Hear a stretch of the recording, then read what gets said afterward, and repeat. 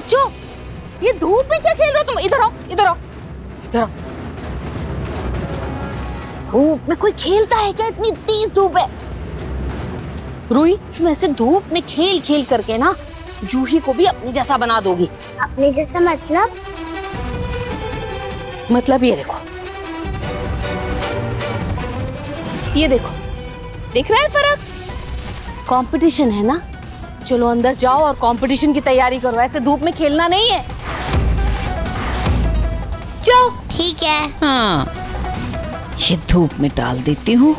सूख जाएगी यहाँ पर। और फिर? बच्चों को ऐसे रंग का भेद मत सिखाइए। गलत है ये। देखिए मन सुनकर सोमवार से रविवार रात साढ़े आठ बजे दंगल प्ले ऐप पर।